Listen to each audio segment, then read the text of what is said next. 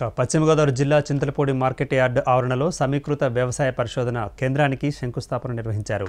కార్యక్రమంలో MP Kotagiri Sridhar Babu Gunnamatla Eliza తదితరులు పాల్గొన్నారు. ఇక సీఎం జగన్ చింతలపూడి అభివృద్ధికి కట్టుబడి ఉన్నారని ఈ సందర్భంగా ఎంపీ తెలియజేశారు. చింతలపూడి ఎత్తిపోతల పథకం కాలవ భూములు కోల్పోయిన రైతులకు తగిన న్యాయం చేస్తామని సీఎం భరోసా ఇచ్చిన విషయాన్ని ఆయన గుర్తు చేశారు.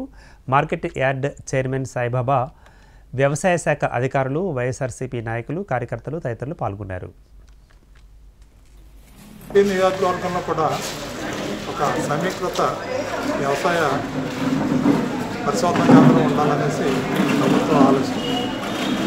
ఈ ఆలోచన ప్రకారంగా చిత్రపూడి నియోజకవర్గంలో యాభై ఐదు లక్షల రూపాయలతో ఈ పరిశోధన కేంద్రాన్ని ఏర్పాటు చేయడం జరిగింది. దీన్ని మన గౌరవ శాసనసభ్యులు గిరిజ గారు మరియు ఏలూరు పార్లమెంట్ సభ్యులు శ్రీధర్ కోటగిరి శ్రీధర్ గారు టీఎంసీ చైర్మన్ గారు సాయిబాబు గారు ఈరోజు ప్రారంభించడం జరిగింది.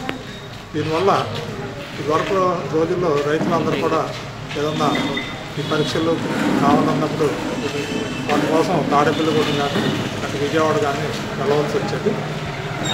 అలా కాకుండా ఇప్పుడు ఇవి ఈ మట్టి నమ్మకాలు కానీ ఎరువులు కానీ పురుగు కానీ విత్తనాలు కానీ అన్నీ కూడా పరీక్ష చేయించుకోవటం రైతులు దగ్గర నుంచి చేయించుకుని అప్పటికప్పుడే వారికి రిజల్ట్స్ ఇవ్వడం జరుగుతుంది.